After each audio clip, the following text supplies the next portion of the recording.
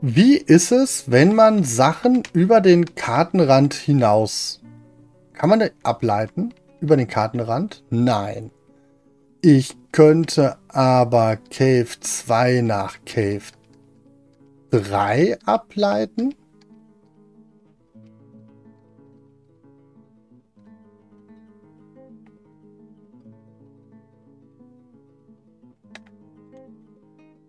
Spüle einfach, ich, ich über, überflute einfach Cave 3 mit dem Wasser auf Cave 2.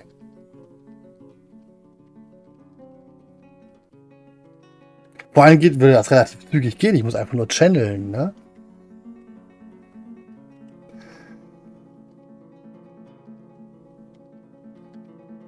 Das müsste dann irgendwie nachher hier, hier sozusagen nachher reinstellen. Das ist die unterste Ebene von dem Wasser, ne? Genau.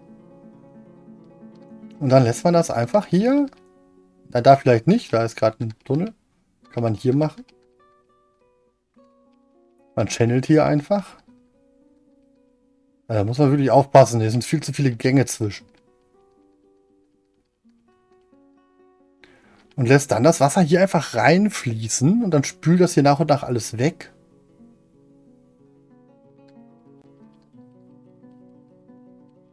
Boah, aber ich glaube... Folgefrage.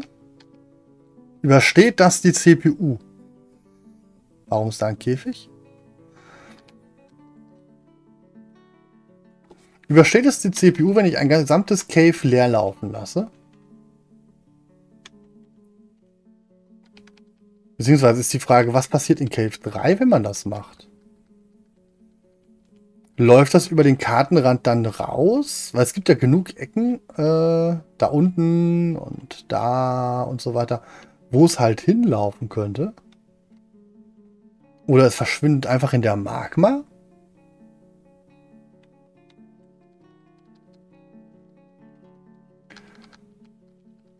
Interessant ist es halt in dem Fall, ich weiß nicht.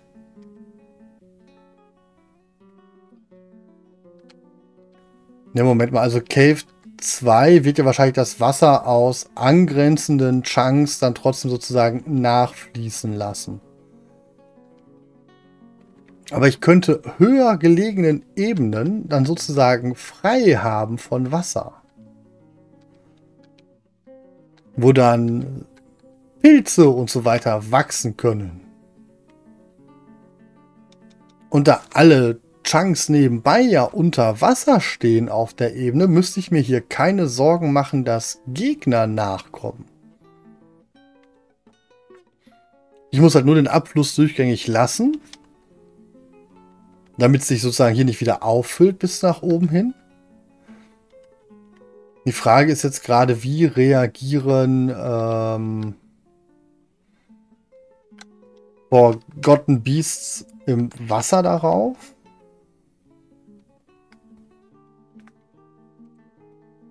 Gibt es so Hybridwesen, die im Wasser angereist kommen, dann aussteigen und mich dann brutal niedermähen? Wahrscheinlich, ne? Wen hast du denn? Retro. Wen hast du denn schon wieder ausgefragt? Schon, ach, den. Den schon wieder. Was hat denn der jetzt schon wieder angestellt? Warum, warum haben wir den ausgefragt? Ich dachte, wir haben schon alles verurteilt. Hat er schon wieder das gebaut? Hm.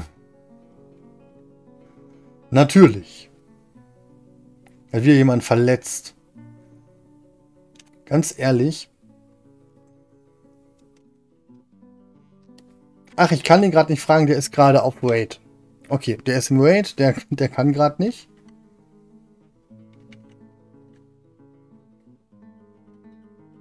Würde ich mal sagen. Wo ist er denn jetzt schon wieder? Hä?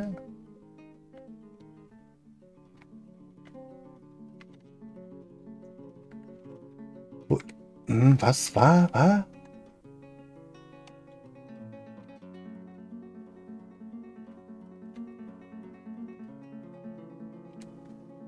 Ich bin gerade verwirrt. Shoras Müll ist Traveling.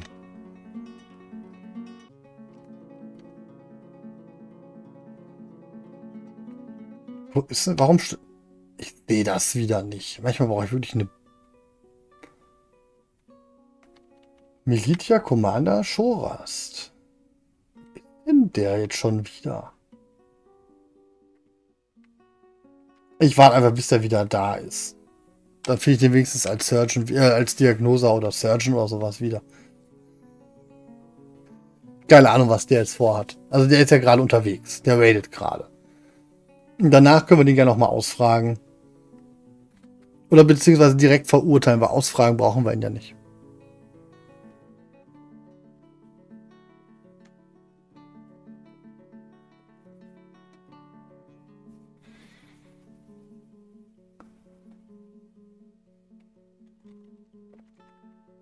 Übrigens, wo wir gerade bei dem Altherren-Stream waren, ne? Aktuell habe ich, äh, ich bin ja so ein kleiner Statistikfreund. Ich habe auf YouTube, eine, gut, äh, nicht jeder gibt sein Alter an bei seinem Account und so weiter, aber aktuell habe ich einen, Zuschauer, einen Zuschaueranteil der 55-Plus-Jährigen von 70 Prozent. Ich weiß nicht warum. Aber meine, äh, meine Zielgruppe scheint noch älter zu sein als ich selber. Was nicht schlimm ist, es hat mich nur überrascht. Ich hatte ehrlich gesagt gedacht, dass meine so eher bei den 40 bis äh, so in den 40ern liegt, halt auch so, so irgendwie so Anfang 30 bis Mitte 40, da wo ich mich auch selbst sehe. Aber es geht auch höher. Was mich immer wieder wundert, weil ich bei, bei der Altersgruppe denke ich immer sozusagen fast schon an meine Eltern und die äh, haben mit dem Internet gar nichts am Hut.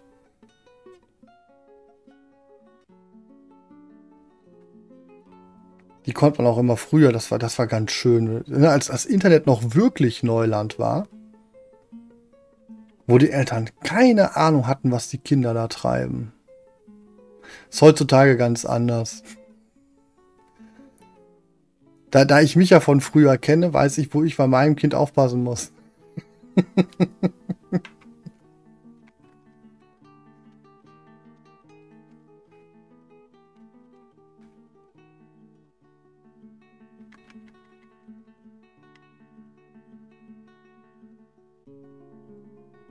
Oh. IRC? ICQ kenne ich. Dann wir hatten damals auch noch unser Internet über diese komischen AOL-Disks und so weiter. Wo dann minütlich dann abgerechnet wurde. Wo wir damals, wo mein Bruder und ich unglaublich einen Einlauf gekriegt haben, weil wir unsere Internetrechnung in die hohe Höhe gepusht haben für Star Wars Galaxy. War das Star Wars MMO damals vor? Boah.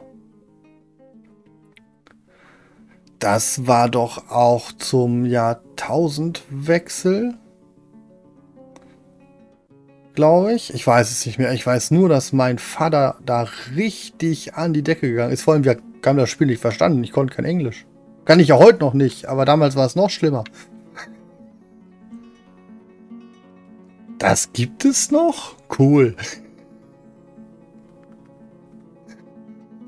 Ich weiß nur, dass mein Bruder und ich da dran gesessen haben und dann, äh, wir haben nichts verstanden. Aber man hat das Internet ja auch früher für so viel Scheiße auch genutzt, genauso wie heute. Äh, sagt jemand noch was Second Life noch etwas? Dieses, ach so tolle, hier führt euer virtuelles Leben und so weiter, wo ja Leute Millionen mitverdient haben, denen sie virtuelle Güter verkauft haben und so weiter. Das war auch so eine... Das war so eine Scheiße. Da, da, da, ging gar nicht. Und die Idee von meinem Bruder und mir, da unglaublich reich rüber zu werden, ist auch kläglich in die Hose gegangen, weil wir gar keine Ahnung hatten, was wir da machen müssen.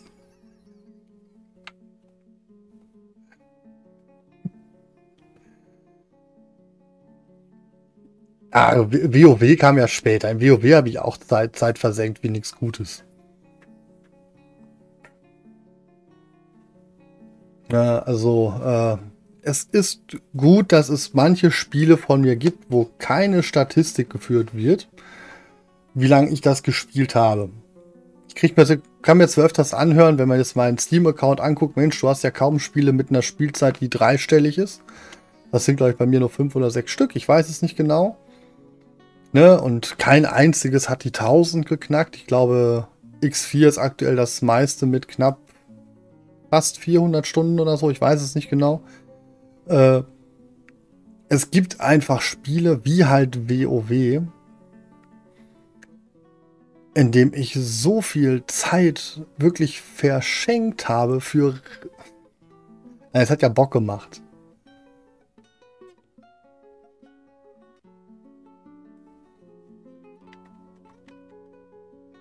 Oh, da muss ich sagen, da bin ich froh. Ich musste nie über ein 56K-Modem ziehen. Meine Eltern haben total äh, hochmodern irgendwann mal mit ISDN angefangen. Ich musste. Ich habe das 56K-Modem, kenne ich nur von meiner Cousine, als ich die mal in Berlin besucht habe. Und das war das einzige Mal äh, an diesem verlängerten Wochenende. Jetzt muss ich auch überlegen, irgendwann in den 90ern, da war ich da zur Love Poet in Berlin, als sie da noch stattgefunden hat über ein Wochenende. Und da habe ich halt 56 Kamo dieses mit diesem äh, ne, und wie es halt so ist. Dort das erste und einzige Mal erlebt. Ich selber musste damit nie kämpfen.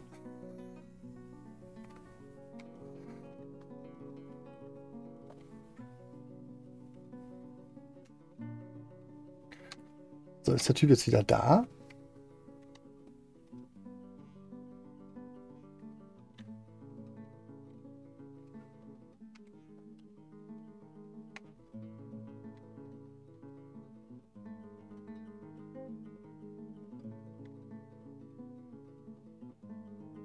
Matt Logan, wo ist denn der jetzt?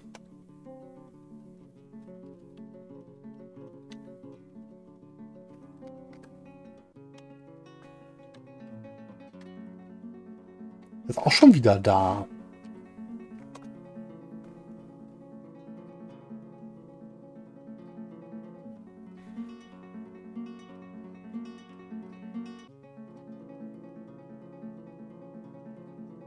The hills after the end was looted from... Er war looted, okay.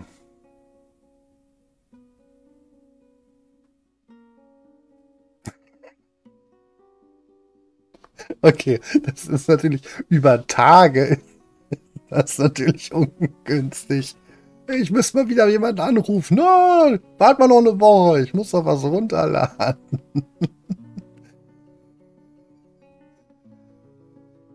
Okay, nee, also, also wie gesagt, da, da kam ich drum herum. Wir hatten nachher halt eine ISDN-Anlage hier, da konnte man das halt auch parallel.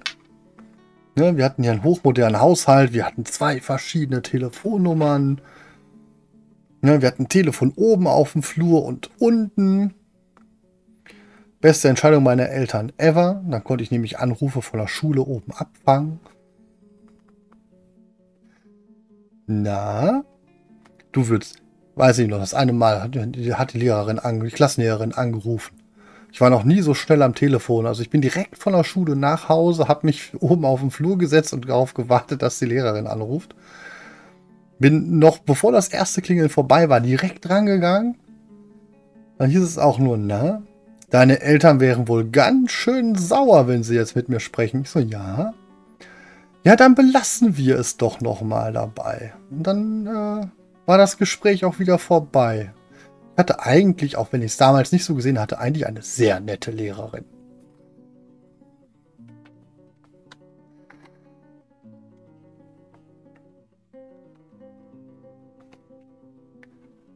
Mal ein Handy. Alter, aber es ist aber jetzt hier, es geht aber die ganz modernen Sachen rein. Das hatte ich erst 2001 ein Philips Handy. Nee, 2000. 2000 hatte ich mein erstes. Und das Handy war noch von Philips. Und ich habe mich geschämt für das Teil. Ich war der Einzige, der kein Nokia hatte und kein Snake spielen konnte. Mensch, ich war der Außenseiter der Klasse. Gut, ich war einer der wenigen, der überhaupt ein Handy hatte, aber es konnte keinen Snake. Das heißt, alle haben mich für mein Handy, habe ich kein Fame für gekriegt, weil es halt ein Philips war, das kein Snake konnte.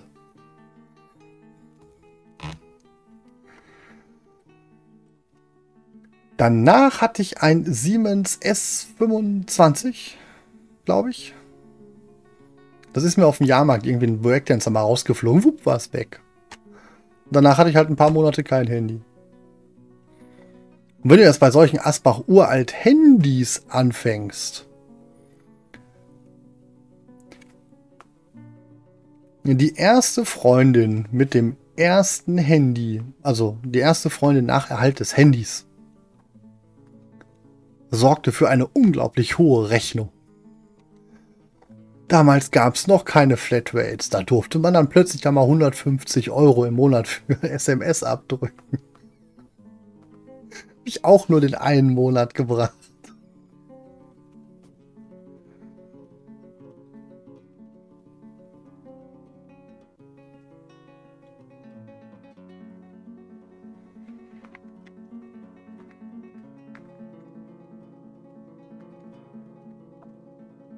Wenn der jetzt wieder da ist, können wir den nächsten angreifen. Ich gehe jetzt alle Türme durch, bis der... Oder soll ich den einfach mal eine große Siedlung angreifen lassen? Ergibt vielleicht mehr Sinn.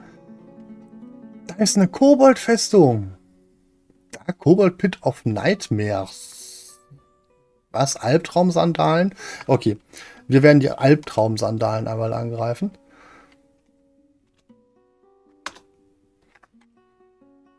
Warum auch nicht?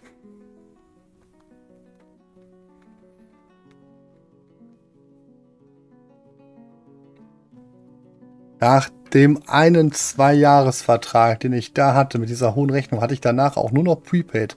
Bis heute habe ich nur Prepaid.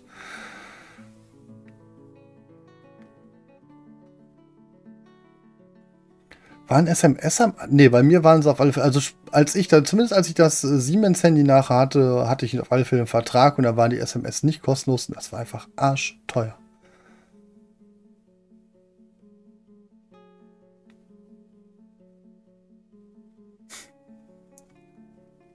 Okay. Ja, also das hat die Zeit, dass es umsonst war, hatte ich nicht. Ich habe mich einfach da nachher dumm und dämlich bezahlt. Also das war nach der einen AOL-Rechnung fürs Internet, war das die zweite Rechnung, wo mein Vater nicht begeistert war. Während er das Internet damals noch bezahlt hat, mehr oder weniger freiwillig, durfte ich meine Handyrechnung auch über die nächsten Monate mit meinem Taschengeld abstottern. Das, das war ihm zu viel. Aber dasselbe Problem hatte meine Freundin halt auch, ne? War halt Mist. Und heutzutage gibt es das einfach nicht mehr. Heutzutage hat jeder eine Flatrate und dann ist gut. Mein, mein Sohn hat jetzt eine Armbanduhr, mit der kann er telefonieren. Die kosten mich jetzt im Monat 5 Euro. Ne, also, da, dass er damit telefonieren kann und Sprachnachrichten mit Internet und was weiß ich nicht was. Aber früher den größten Fehler, den man machen konnte, war auf seinem Handy auf diesen komischen WAP-Knopf zu drücken, dass das Internet gestartet ist. Da bist du einmal versehentlich draufgekommen, schon waren 5 Euro weg.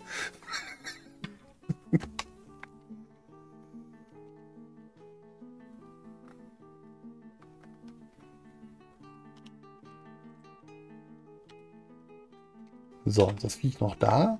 Immer noch.